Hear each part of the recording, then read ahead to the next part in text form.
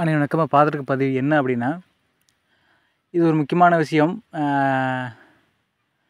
இந்த நான் அதாவது இந்த உலகத்தில் என்னென்னா இந்த சாதாரண மருத்துவம் பார்க்குறவங்க மந்திரம் சொல்கிறவன் மந்திரம் சொல்கிற அதாவது மருத்துவம் பார்க்குறவங்க மந்திரம் சொ மந்திரம் சொல்கிறவங்க சின்ன சின்ன கை வைத்தியம் செய்கிறவங்க இவங்கெல்லாம் நான் பெரிய சித்தன் சித்தன் சொல்லிட்டு எல்லாம் பண்ணிட்டு திரியிறாங்க. ஒரு யோகம் செஞ்சுட்டா கூட அவர் பெரிய சித்தன் நினச்சிட்டு எல்லோரும் பேசி திரியிறாங்க. சித்தன்னா யார்? யோகினா யார்? மருத்துவம்னா யார்? மாந்திரிகனா யார்? மற்ற க பஞ்சபட்சி கலைகள் மற்ற எ- எந்த கலையாக வேணா இருக்கட்டும். இந்த கலை கற்றவர் அனைத்துமே சித்தர்கள் நான் கேட்டால் சித்தர்கள் கிடையாது. இப்போலாம் விஷயம் என்னென்னா ரெண்டு மந்திரம் தெரிஞ்சுக்கிட்டு நான் நாலு பேர் குறி சொல்கிறவங்கலாம் சித்தனாயிட்டாங்க. நான் நாலு மூலிகை செடி நாலு ம- நாலு மருந்து செய்ய தெரிஞ்சுட்டா அவர் பெரிய சித்தன் சித்த சித்தன் சித்தன் சொல்லிட்டு ஒரு ஃபோட்டோ போடுறது வீடியோ போடுறது அதை பண்ணுறது இதை பண்ணுறது அப்படின்னு சொல்லிட்டு நிறையா பண்ணிட்டு தெரியுறாங்க. நான் தெரியாமல் கேட்குறேன் சித்தன் அப்படிங்கிற அதுக்கு என்ன த அது அதுக்கு என்ன முதல் தகுதி என்ன அப்படின்னா உணவை விட்டிருக்க வேண்டும். உடலை சு உடலை வந்து சுத்த தேகமாக இருக்கணும் முதல்ல. சுத்த தேகம் ஆயிடுச்சு. அதாவது மலம் அதாவது எச்சிலோ மலமோ சிறுநீரோ உடம்புல எதுவும் வேர்வை துளியோ உடம்புல கெட்ட கிருமியிலோ க மலமோ எதுவுமே உற்பத்தி ஆகாத உடல். அந்த உடலை முத சுத்ததேகம் பெற்றவர்கள் சுத்த தேகின்னு தான் பேர் வருத்தர் அவங்களுக்கு சித்தன் கூட பேர் வரல. சுத்த தேகம் அடைஞ்சவங்களுக்கு கூட சுத்த தேகின்னு தான் பேர் தவிர அவங்க பேர் சித்தன்னு கிடையாது. சுத்த தேகம் அடைந்து அதிலிருந்து பிரணவதேகம் பிரணவ தேகம் என்ற இந்த உடலை ஆன்மாயும் ஒரு ஒரே அணுவாக மாற்றி பிரணவ தேகமாக மாற்றினவங்க அவங்க தான் யார்? சித்தன்னு பேர் பெற்றவங்க. நம்ம இன்னமும் டெய்லியும் அண்டா கணக்கில் சாப்பாடு சாப்பிட்டுக்கிட்டு கண்ட உணவுகளையும் சாப்பிட்டுக்கிட்டு நான் சித்த நான் நாலு வைத்தியம் தெரிஞ்சுட்டா நாலு மருத்துவம் தெரிஞ்சுட்டா நாலு மந்திரம் தெரிஞ்சுக்கிட்டா நான் பெரிய சித்தன்னு சொல்லிட்டு எல்லோரும் நமக்கு நாம் ஏமாற்றிக்கிட்டு திரியிறோம். நான் நான் இப்போ நானே சொல்கிறேன் எனக்கு சிறு வைத்தியங்கள் தெரியும். அதுக்காக நான் பெரிய சித்தன் கிடையாது. ப யோகம் தெரியும். அதுக்காக அதுக்காக நான் சித்தன் கிடையாது. நானும் யோகி தான். இந்த யோகிங்கிற ஸ்டேஜில் தான் நம்ம இருக்குமே தவிர யோகியில் வந்து மூணு வகையான டைப் இருக்குது யோகம் பழங்குறவங்களையும் யோகின்னு தான் சொல்லுவோம். யோகத்தில் முத்த நிலையில் இருப்பாங்க. அது அது வந்து முத்த நிலைன்னு உண்டு. அதுக்கு பேர் யோக முத்தன்னு பேர். முழுமையான யோகி யார் அப்படின்னா உடலை சுத்த தேகமாக்கினவங்க உடலில் வந்து கழிவுகளோ அதாவது மலம் உற்பத்தியாகாத உடலை யார் பெற்றிருக்காங்களோ அவங்க முழுமையான யோகின்னு பேர். அந்த சு சு- சுத்த தேகம் பெறக்கூடிய உடலில் நம்ம உடம்பில் நமக்கு தேவையான உணவை தன் உடம்பு நம்முடைய உடம்பை உற்பத்தி பண்ணி நம்ம உடலை வாழ வைக்கக்கூடிய நிலைக்கு பேர் முழுமையான யோகின்னு பேர். இப்போது எனக்கு என்ன எல்லாரும் ஒரு கோவம் என்ன விஷயம் அப்படின்னா இந்த சித்தன் சித்தன் சொல்லிட்டு நிறைய பேர் தன்னைத்தானே ஏமாற்றிக்கிட்டு மற்றவங்களை ஏமாற்றிக்கிட்டு பல பேரோட வாழ்க்கையை வந்து சீரழிச்சிட்டு இருக்காங்க. அதனால் சொல்லக்கூடிய விஷயம் என்னென்னா நாலு மருந்து மா நாலு மருந்துகள் தெரிஞ்சுட்டு பெரிய சித்தன் நினச்சிட்டு தானே தானே ஏமாற்றிட்டு தெரியாதீங்க. சித்தன் அப்படிங்கிற உடலில் என்ன சொல்கிறதுங்க கத்தி குத்தினால இறங்காது. அரு எந்த ஆயுதங்களையும் ஊடுருவ முடியாத உடல். கையிலேயே கையில் தொட்டாலும் நம்ம கை அதாவது நம்ம ஒரு பொருளை தொட்டு உணர்றோம் இல்லையா? அந்த உணர்வு அந்த- அந்த தொடு உணர்வு கூட சித்தரோட உடலை தொட்டால் அவங்க உடம்புல கை போகுமே தவிர அவங்க உடலை தொட முடியாது. ஃபோட்டோவில் விழுகாது. இதெல்லாம் சித்த சித்தன்கிற பிரணவ தேகம் எடுத்த அவங்க உடலோட நிலைகள். இந்த நிலையில் உள்ளவங்க எல்லாம் இருக்காங்க. எப்படி சொல்கிறது நிறைய பேர் நான் பெரிய சித்தனாயிட்டு நான் பாசான கட்டுக்கலங்க சுண்ணா செந்தூரம் நாலு பஸ்போன் நாலு உ- உப்புக்கள் இதெல்லாம் செஞ்சுட்டு நான் பெரிய வைத்தியம் நான் பெரிய சித்தனாயிட்டு அப்படின்னு சொல்லிட்டு செத்து போகிறாங்க செத்து போகிறவெல்லாம் மனுஷன்தான். அது எவ்வளோ பெரிய வைத்தியனாக இருக்கட்டும் யோகியா யோகியாக இருக்கட்டும் மந்திரவாதியாக இருக்கட்டும் தந்திரவாதியாக இருக்கட்டும் யாராக வேணா இருக்கட்டும். நீ செத்து போகிற அப்படின்னா நீ சாதாரண மனுஷன்தான். சித்தன் சித்தன் சொல்லிட்டு நீ ஏமாற்றிக்கிட்டு பிறர் ஏமாற்றி வைத்து பழப்புக்காக சித்தங்கிற பேர் அடமலையாக போட்டுக்கிட்டு ஏமாத்திட்டு திரியிறங்கிறது தான் சொல்ல முடியும். இதுதான் உண்மை. அதனால் சொல்லக்கூடிய விஷயம் என்னென்னா இது வந்து தன்னைத்தானே ஏமாற்றி கொண்டு வாழ்கிற மனிதர்களோட கூட்டம் தனியாக இருக்குது இன்னொரு விஷயம் என்னென்னா மருத்துவம் கற்றுக்கிற நிறைய பேர்த்துக்கு வந்து சில விஷயம் வந்து புரியவே மாட்டேங்குது. மருத்துவம் அப்படிங்கிறது உடலையும் உயிரையும் ஒன்றிணைக்கக்கூடிய ஒன்றாக எப்போவுமே நினை- நிலைக்க வைக்கக்கூடிய மருந்து தான் சித்த மருத்துவம். உடலையும் உயிரையும் ஒன்றோடு ஒன்றோடு பிரிவினை வராமல் எப்போதுமே உடலில் உள்ள உள் உள்ளுறுப்புகள் எல்லாம் சரியாக இயங்கினா உ- இந்த உடம்புக்குள்ள உயிர் தங்கி இருக்கும். அப்போது நமக்கு செய்யக்கூடிய எல்லா மருத்துவங்களும் உடலையும் உயிரையும் ஒன்றா இணைக்கக்கூடிய மருந்து தான். இதுதான் மருத்துவம். இப்போ நிறைய பேர் என்ன நினைக்கிறேன்னா மருத்துவம் கற்றுக்க வர்றவங்க எல்லாருமே நாலு மருந்து கற்றுக்கிட்டா போதும். கற்றுக்கிட்டா நான் பெரிய வைத்தியர் அப்படின்னு சொல்லி நினச்சி திரியிறாங்க. உண்மையான ம மருத்துவருக்கான தகுதி என்ன அப்படின்னா ஒரு கைப்பிடி ம மண்ணள்ளி கொடுத்தாலும் அதை மருந்தாக மாற்ற தெரியணும். அடுத்து என்னங்க? அந்த மருந்தாக மாற்றக்கூடிய வித்தை சூட்சமங்களில் குருமார்கள் நம்ம கற்றுக் கொடுக்கும் வரை பொறுமையாக இருக்கணும். இதுதான் விஷயமே தவிர எடுத்தவொடனே நான் மருந்து மருந்துங்களுக்கு ம- மருத்துவத்தை கற்றுக் கொடுங்க. ம இந்த மருந்து விரைவில் செஞ்சு கொடுக்கணும். விரைவில் கற்றுக்கணும் இதை வச்சு சேவையாகவும் செய்யணும். என் தேவைக்கும் நான் பணமாகவும் மா விற்கணும் அப்படின்னு சொல்லிட்டு நிறைய பேர் அலைஞ்சிட்டு இருக்காங்க. அதனால் மருத்துவம் கற்றுக்கிறதுனா மிக ரொம்ப பொறுமை வேணும். நான் சொன்னேன் ஒரு இப்படி ம மண் எடுத்தோம் அப்படின்னா அது நீர் அதாவது நீர் நீர் நிலம் காற்று ஆகாயம் அப்படிங்கிற அஞ்சு பூதங்களும் மண்ணில் இருக்குது மண்ணிலையும் நீர்நிலம் காற்று ஆகாயம் நெருப்பு இருக்குது நீர்லேயும் நீர்நிலப்பு நெருப்பு காற்று ஆகாயத்துலையும் இருக்குது அஞ்சு பஞ்சபூதங்கள்லேயும் அஞ்சு பஞ்சபூதங்கள் இருபத்தஞ்சு விதமாக நிற்கிது மண்ணுலேயும் அஞ்சு பூதம் ஆகாயத்துலேயும் அஞ்சு பூதம் நெருப்புலேயும் அஞ்சு பூதம் காற்றுலேயும் அஞ்சு பூதம் நீர்லேயும் அஞ்சு பூதம் நிலத்துலேயும் அஞ்சு பூதம். ஒவ்வொன்றுலேயும் அஞ்சஞ்சு பூதங்கள் தனித்தனி வகையாக இருக்குது அப்போது ஒரு இப்படி மண் எடுத்தோன்னா அந்த மண்ணில் எந்தெந்த பூதச்சத்துக்கள் எப்படிலாம் வி விளையுது அதோடைய தன்மை என்ன அது என்னென்ன அணுக்கூரோட சேர்த்தா என்ன அணுக்கூறாக மாறும் இப்படிங்கிற விஷயங்கள் எல்லாமே கற்றுக்கொள்ள வேண்டும். சித்த மருத்துவர் வந்து இதுதான் கற்றுக் கொடுக்குறது மருத்துவனால இப்படி தான் இதை தான் கற்றுக் கொடுக்கணும். ஒரு இப்படி மண் எடுத்தாலும் சரி ஒரு மூலிகை எடுத்தாலும் சரி ஒரு செடி எடுத்தாலும் சரி சுவாசிக்கிற காற்றாக இருந்தாலும் அதில் உண்மையான உயிர் சத்தை பிரித்து உண்ணக்கூடிய அந்த நுணுக்கமான அறிவாற்றலை கற்றுக் கொடுக்குறவங்க தான் சித்த மருத்துவர்கள். கற்றுக்கிறவங்களுக்கு ரொம்ப பொறுமையை வந்து ரொம்ப வந்து பொறுமை தேவைப்படுது. சும்மா நான் நாலு மருத்துவம் கற்றுக்கிட்டா நம்ம எப்படி சொல்கிறது வயிற்று பொழுப்புக்காக வைத்தியம் பார்க்குறவங்க நிறைய பேர் இருக்காங்க. பணத்துக்காக வ- மருத்துவம் பார்க்குறவங்க நெ- அது ஒரு தனி குரூப்பாக இருக்காங்க. சேவைக்காக பண்ணுற குரூப்பு தனியாக இருக்காங்க.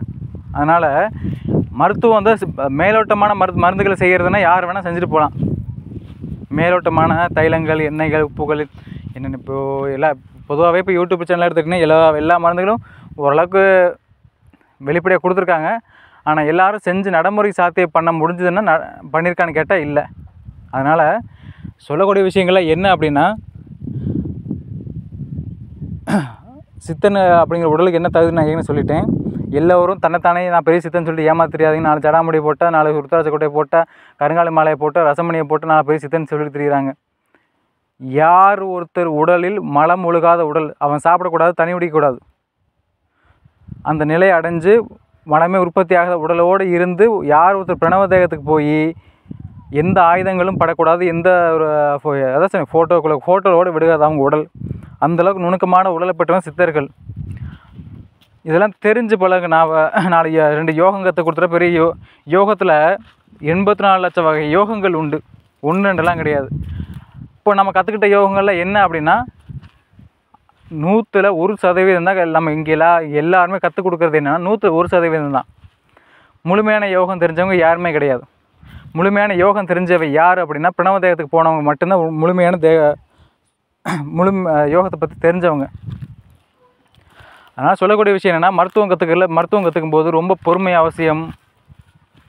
அதே சமயம் மருத்துவம் கற்றுக்குறோம் அப்படின்னா நம்ம ஒருத்தர் மா ஒரு குருகிட்ட போயிட்டு இப்போ மருத்துவம் கற்றுக்குறோம் அப்படின்னா அவங்கள்ட்ட வந்து அவங்க சூழ்நிலையும் பார்க்கணும். நம்ம க கற்று கற்றுக் கொடுத்த கேட்டவொடனே உடனே க க கற்றுக் கொடுத்தாகணும். கற்றுக் கொடுத்தா தான் நீ குரு இல்லைன்னா நீ பொய்யான ஆள் அப்படின்னு சொல்லிட்டு முடிவெடுக்கிறது. இந்த மாதிரி கிறுக்குத்தனமான முடிவுகள் எடுக்கிறதெல்லாம் விட்டுறணும் யாராக இருந்தாலும் சரி. மருத்துவம் கற்றுக்குங்க வேணான்னு சொல்லலை.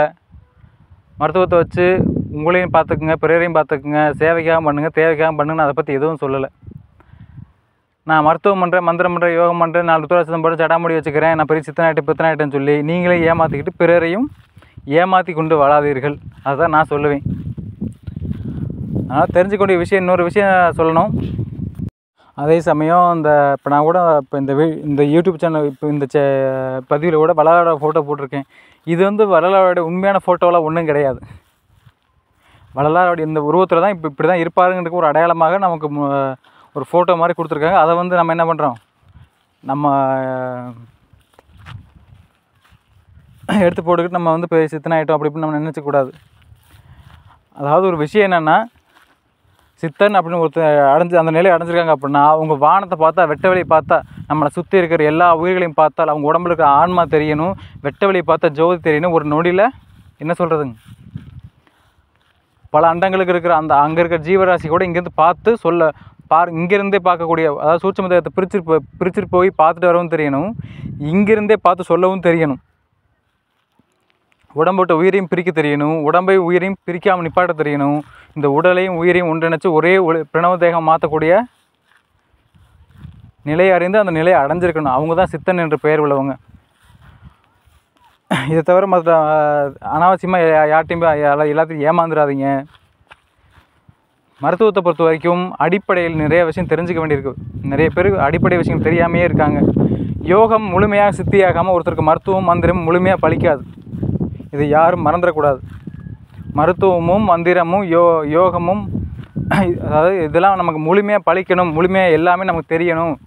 பிரணவ தேகத்துக்கெல்லாம் போகணும் அப்படின்னா யோகம் சித்தியாகாமல் முழுமையான மருத்துவமும் நமக்கு தெரியாது முழுமையான மந்திரங்களும் தெரியாது. இதெல்லாம் என்ன சொல்கிறது யோகம் சித்தியாகாமல் மந்திரம் மருத்துவம் பழிக்காதுன்னு சொல்லிட்டு அந்த காலத்தில் அதனால தான் பன்னெண்டு வருஷம் ஆசிரமம் வச்சு நடத்திக்கிட்டு இருந்தாங்க. அதனால் தெரிஞ்சக்கூடிய விஷயம் என்னென்னா அதே மாதிரி இன்னொரு விஷயங்கள் என்ன அப்படின்னா இப்போ நிறைய பேர் நாலு ருத்ராட்சம் போட்டால் நாளைக்கு காவி வேட்டி கட்டிட்டா நான் பெரிய சித்தேன் அப்படின்னு சொல்லிட்டு நிறைய பேர் சொல்லி தெரியுறாங்க. உண்மையான குரு என்பவர் யார் அப்படின்னா யோகிகள் கிடையாது. சுத்த தேகம் அடைஞ்சவங்க கூட குரு கிடையாது. பிரணவ தேகம் யார் அடைகிறாங்களோ அவங்க தான் முதல் குரு. கடைசி யாருன்னா ஒளிதேகம் பெற்றவர் ஒளிதேகம் பெற்றவர்கள் தான் கடைசியான குரு. இது எல்லாரும் தெரிஞ்சுக்கணும். சும்மா நம்ம வாட்டுக்கு இந்த நம்ம நம்மளை ஏமாற்றிக்கிட்டு பேர் ஏமாற்றிக்கிட்டு அப்படின்னு தெரியக்கூடாது. இந்த உலகத்தில் நிறைய பேர் சாதனை சா சாதிச்சிட்டேன் சாதிச்சிட்டேன்னு சொல்லி தெரியுறாங்க. இந்த உலகத்தில் எவ்வளோ பெரிய பெரிய திறமையானவளாக இருந்தாலும் சரி இந்த உலகத்தில் எவ்வளோ பெரிய திறமை இருந்தாலும் சரி மற்றவங்க கண்ணுக்கு நம்ம ஒரு வெறும் பொழுதுபோக்கு என்டர்டைன்மெண்ட் மட்டும்தான். அதை ஞாபகம் வச்சுக்கோங்க. உண்மையான இப்போ நிறைய பேர் சாதனை சாதனை நினைக்கிறாங்க. உண்மையான சாதனைங்கிறது எது? இங்கே புள்ள அதாவது சரியாக சொல்லணும் அப்படின்னா வண்டி வாங்கினா சாதனை இப்போ கல்யாணம் பண்ணால் சாதனை குழந்த பிறந்துட்டா சாதனை புள்ள பார்த்துட்டா சாதனை வீடு கட்டினா சாதனை நாலு பொண்டாட்டி கட்ட சாதனை. இதெல்லாம் சாதனைன்னு சொல்லிட்டு செத்து போயிட்டுருக்காங்க. இதெல்லாம் பெரிய சாதனைன்னு சொல்லி சொல்லிட்டு திரியிறாங்க. உண்மையான சா- அதாவது ஆடு மாடு கோழி எல்லாமே இனவத்தி செய்யுது சாப்பிடுது தூங்குது செத்து போகுது. அதனால் இதெல்லாம் பெரிய சாதனை கிடையாது. நமக்கு நாமே உருவாக்கப்பட்ட பணம் நமக்கு நாமே உருவாக்கப்பட்ட பண்டமாற்று முறை இப்போ நமக்கு நாமே உருவாக்கப்பட்ட உயர் உயர்ந்தவன் தாழ்ந்தவன் விருதுகள் அப்படின்னு சொல்லிட்டு பல சாதனை அப்படி இப்படின்னு சொல்லிட்டு என்னென்னமோ பண்ணிட்டு திரியிறோம். ஆனால் இதெல்லாம் சாவுக்கு தான் வழிகாட்டுமே தவிர பிறப்பில்லாத நாளைக்கு போகிறதுக்கான வழிகாட்டாது பிறப்பில்லாத நிலைக்கு வழிகாட்டணும் போகணும்னு நினச்சா கண்டிப்பாக ஜீவாரணியம் ஃபஸ்ட்டு ரெண்டாவது யோகம் மூணாவது அனைவரையும் நம்மை போல் என்ன வேண்டும். அதான். என்ன அதாவது எல்லாரையும் நம்மளை போல் எண்ணணும் ஆனால் எல்லாத்துட்டையும் எச்சரிக்கையாக இருக்கணும். அதை ஞாபகம் வச்சுக்கணும். எல்லோரும் நம்மளை போல தான். ஆனால் மற்றவர்கள் அவங்க தேவைக்காக நம்மளை பயன்படுத்துவாங்க. இல்லை எந்த எந்த சூழ்நிலை வேணாலும் எதுக்கு வேணால் பயன்படுத்துவாங்க. இதில் தான் எச்சரிக்கையாக இருந்து நம்மளை நாமளே காப்பாற்றிக்கிற வழி நம்ம பார்க்கணும். இதையெல்லாம் ஞாபகம் வச்சுக்கணும். எல்லோரும் நம்மளை போல தான் இருக்காங்க. நம்மளை நம்மளை போல் என்ன வேண்டும்? எதில்? நம்மளை போல் பசி இருக்கும். பசி பசி இருக்கிற நேரத்தில் ப உணவு கொடு. மற்ற மற்றவங்களோட ஆசை ச சந்தோஷங்கள் அனாவசியமான விஷயங்கள் எதுலேயுமே தலையிடாமல் பொதுவான இந்த உலகத்தில் உணவுங்கிறது பொது எல்லாத்துக்கும் பசிக்கும். உணவு கொடுப்பதில் எல்லோரும் சமம். எல்லோரும் சமம் பாருங்கள் தவறில்லை மற்ற அவங்க சொந்த ஆசை சொந்த விருப்பம் சொந்த செயலில் தலையிடக்கூடாது தலையிடாமல் இருந்தால் நம்ம வாழ்க்கைக்கு நமக்கு நல்லது. ஒன்று ரெண்டாவது பிறப்பில்லா நாளைக்கு ஏதாவது இந்த பிறவி அதாவது இந்த உலகத்தில் யா இந்த வீடியோ யார் கேட்க கேட்குறீங்க கேட்குறீங்களோ எனக்கு தெரியாது. பிற- இந்த பிறவி பிறந்துட்டீங்க. உங்கள் ஆன்மாவை அறிஞ்சிட்டு பிறப்பு நாளைக்கு போகிறக்கான வழியை பார்த்து பிறப்பு நாளைக்கு போயிட்டீங்கன்னா நல்லது. இல்லை அப்படின்னா திரும்ப ஆடா மாடா கோழி மற்ற எந்த எந்த ஜீரோ பிறந்து மறுபடியும் மறுபடியும் மறுபடியும் மறுபடியும் கஷ்டப்பட்டு செத்து தான் போகணும். அதனால் அனைவருக்கும் லாஸ்ட்டாக சொல்லக்கூடிய விஷயம் என்னென்னா ஒளிதேகம் பெற்றவர்கள் பிரணவதேகம் பெற்றவர்கள் சித்தன் என்று பெயர். மற்ற இந்த உணவு சாப்பிட்டு திரியிறவன் மலம் ம- மலம் போய் திரிவங்க ஒன்றுக்கு போய் திரிவங்க சித்தன் கிடையாது. அப்படி பேர் சொல்லி திரு திரிகிறவங்கள்ட்ட ஏமாந்து போகாதீங்க. ஜீவகாரணியம் பண்ணுங்கள் உண்மையான ஜீவகாரணியம் அதை என்னென்னு அதையும் சொல்லிடுறேன். உண்மையான ஜீவகாரணியம் அதுக்கு முதல் அடையாளம் எல்லோருக்கும் பசி என்பது ஒன்று தான் சமந்தான். உணவு கொடுப்பது முதல் ஜீவகாரணியம். ரெண்டாவது உணவை போட்டு போட்டு எல்லாத்தையும் சாகடிச்சிருக்கக்கூடாது. உணவு போகிறது தான் பெரிய ஜீவகாரணியம். அப்படின்னு நினச்சிக்கிட்டு வெறும் உணவை மட்டுமே போட்டுட்டு நம்மளும் செத்து போகக்கூடாது உணவு சாப்பிட்டவனும் செத்து அவனும் செத்து போகக்கூடாது. உணவையும் போட்டுட்டு உயிரெறும் வித்தை யோக வித்தை ஆன்ம வித்தை அவங்களுக்கு கற்றுக் கொடுத்துடணும். உணவையும் பசியார கொடுத்துட்டு ஆன்மாவை அறிந்து பிறப்பலாளி போகிறதுக்கான வழியையும் காட்டி கொடுக்கணும். இந்த ரெண்டே விஷயத்தை யார் ஒருத்தர் காட்டி கொடுக்குறாங்களோ அவங்க தான் முழுமையான ஜீவகாரணம் செய்கிறதா அர்த்தம். வெறும் உணவு மட்டும் போகிறவங்க ஜீவகாரணம் செய்கிறதாக அர்த்தம் கிடையாது. நீ எவ்வளோ தான் உணவு போட்டாலும் ஒரு நாலு மணி நேரத்துக்கு அப்புறம் செரிமானம் நாலு மணி நேரத்துக்கு அப்புறம் மறுபடியும் பசிக்கும். நம்ம பார்த்து பார்த்து போட்ட உணவு அந்த உணவில் வரக்கூடிய நல்லது கெட்டது நோய்கள் எல்லாமே சாப்பிட்டவனுக்கு வரும். அப்போ நீங்கள் எவ்வளோ தான் ஜ ஜீவகாரணத்தோட உணவு போட்டாலும் அந்த உணவுக்கு உணவு கெமிக்கலில் உருவாக்கப்பட்ட உணவில் உள்ள நோய்கள் எல்லாம் சாப்பிட்றவனுக்கு வரப்போகுது. அப்போது இது எப்படி ஜீவகாரணியம் மாறும்? அதனால் அதனால் சொல்லக்கூடிய விஷயங்கள் என்ன அப்படின்னா ஜீவகாரணியம் ப பண்ணுறது தான் பெருசு கிடையாது. பிறருக்கு உணவு உணவு அளிக்கிற உணவு அளிக்கிறது ஜீவகாரணியம் தான் இல்லாதவங்களுக்கு உடை எடுத்து கொடுக்குறது ஜீவகாரணியம் தான். அடுத்து நீங்கள் பிறப்பு நாளைக்கு போகிறக்கான யோக வித்தையோ ஆன்ம வித்தையோ எந்த வித்தையாக இருந்தாலும் சரி வாசி யோகம் கடயோகம் கடயோகம் பல்வேறு வகையான யோகம் எந்த யோகம் கற்றுனாலும் சரி உங்கள் ஆன்மா மேல் உணர்வை வைத்து வைத்து வைத்து பழகக்கூடிய ஆன்ம வித்தையை நீங்கள் கற்றுக்கிட்டு பிறருக்கு உணவையும் போட்டு இந்த வித்தையும் கற்றுக் கொடுக்கணும். எல் எல்லோரும் பிறப்பு போகிறதுக்கான வழியை காட்டணும். அப்படி வழிகாட்டுறதா உண்மையான ஜீவகாரணியம். மற்றபடி நான் தான் சொல்கிறேன் வெளிப்படையாக ஓப்பனாகவே சொல்கிறேன் உணவை மட்டும் போட்டுக்கொண்டே வந்தால் உணவு போட்ட நம்மளும் செத்து போயிடுவோம் உணவு சாப்பிட்டவன் அந்த உணவுனால் வரக்கூடிய இப்போதைக்கு உள்ள எல்லா உணவுகளையும் கெமிக்கல் இல்லாத உணவே இல்லை. கெமிக்கல் உள்ள உணவுகள் நம்ம நல்ல நல்ல பொருளாக வாங்குறோம். என்ன என்ன நல்ல உணவை வாங்கினாலும் அதில் கெமிக்கல் இருக்க தான் செய்யுது. அப்போ நல்ல உணவுகள் வாங்கி சமைச்சு போட்டாலும் அதில் வரக்கூடிய நோய்கள் சாப்பிட்றவனுக்கும் வருது. அப்போ அதனுடைய பாவம் நமக்கும் வருது அவனுக்கும் சேருது. அப்படிங்கிறப்போ ஒரே விஷயம் என்னென்னா சாப்பாடும் போடுங்க.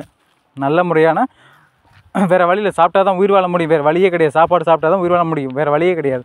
ஃபஸ்ட் முதல்ல சாப்பாடை போடுங்க. நல்ல வகையான உணவை சாப்பாடை போடுங்க. சாப்பாடு போட்டுட்டு அவர்களுக்கு உயிரெறியும் வித்தை ஆன்மா வித்தை ஆன்மா பார்க்கக்கூடிய விஷயத்த ஆன்மாவை பார்க்கவும் பேசவும் ஆன்மா உணரவும் பிறப்பலாளி போகிறதுக்கான எல்லா வழியையும் உணவை போட்டு விட்டு பிறருக்கு அனைத்து இதை முழுமையாக கற்றுக் கொடுங்க. இதுதான் உண்மையான ஜீவகாருண்யம். ஜீவகாருண்யம் என்பது என்ன? அன்போடு இருக்குன்னு சொல்லுவாங்க. அன்போடு இருக்குன்னா என்ன அர்த்தம்? எல்லா துன்பங்களில் இருந்தும் விடுபட வைத்து அவர்களை நிரந்தரமான நிம்மதியான நிலைக்கு கூட்டிகிட்டு போகிறது அப்போ நிரந்தரமான நிம்மதியான நிலை எது? சாப்பாடு போடுவதானா? இல்லை. செத்து போகிறதானா இல்லை. சாப் பிறப்பு இல்லாத நிலைக்கு போவதே நிரந்தரமான அன்பான நிலை. எல்லோரும் எல்லா கஷ்டத்தையும் விடுபட வைக்கிறது எல்லா கஷ்டத்தையும் தீர்த்து வைக்கிறது அன்பான செயல் என்று பெயர். அதுக்கு பேர் தான் ஜீவகாரணியம் என்று பெயர். இப்போ ஜீவகாரணியம் அப்படின்னா என்ன? உணவை போடுவது அவங்க பிறப்பு நிலைக்கு வழிகாட்டுவது. இந்த ரெண்டு தான் முழுமையான ஜீவகாரணியம். இது எல்லாரும் தெரிஞ்சுக்கணும். சும்மா நானும் ஜீவ நானும் உணவு போகிறேன் உணவு போடுறேன். என்ன பிரயோஜனம்? இப்போ ஒரு பத்து பேருக்கு சாப்பாடு போடுறீங்க. சா இப்போ சாப்பிடும்போது நல்லாயிருக்கு அப்புறம் ஒரு ஆறு மாதம் கழித்து அந்த சாப்பாடுனால ஏதாவது ஒரு நோய் வந்து ஏதாவது நோய் வந்துருச்சு அப்படின்னா டாக்டர்கிட்ட போய் கேட்பேன் இந்த மாதிரி உடம்பு சரியாக போச்சுன்னு கேட்டால் நீங்கள் சாப்பிட்ட உணவு சரியில்லை அப்படிமா நான் எங்கெங்கே போய் என்னென்ன சாப்பிட்டனோ தெரியல யாராவது சாப்பிட போட்டோன்னு தெரியல அதை சாப்பிட்டனால அந்த நோய் வந்துச்சு சொல்லி அது நமக்கு சாபமாக அதுவே நமக்கு சாபமாக வந்து அமையும். அதனால் விஷயம் தெளிவாக தெரிஞ்சுக்கணும். ஜீவன் என்பது உணவும் கொடுக்கணும் உயிரை இரும்பத்தையும் கற்றுக் கொடுத்து எல்லாத்தையும் பிறப்பாளி போகிறதுக்கான வழியை காட்டணும். எந்த கடவுளும் எந்த சித்தனும் எந்த இறைவனும் தேடாமல் முக்தி மோட்சம் பிரணவ தேகோல் தேகம் கெ கு- வந்து கொடுக்க மாட்டாங்க. வந்து யாரும் வந்து இந்தாப்பா முக்தி மோட்சம் முக்தி பிரணவ தேகம் யாரும் கொடுக்க மாட்டாங்க. நம்ம முயற்சி பண்ணுற பொறுத்து நம்ம தேடுதலை பொறுத்து நம்ம செயலை பொறுத்து நமக்கு எல்லாமே கிடைக்கும். இதை ஞாபகம் வச்சுக்கணும் எல்லோரும். தேடாமல் எதுவும் நமக்கு முழுமையாக கிடைக்காது. முயற்சி இல்லாமல் எந்த விஷயமும் நமக்கு கிடைக்காது. முயற்சி வேணும் பயிற்சி வேணும் நடைமுறைக்கு வேணும். நன்றி வணக்கம்.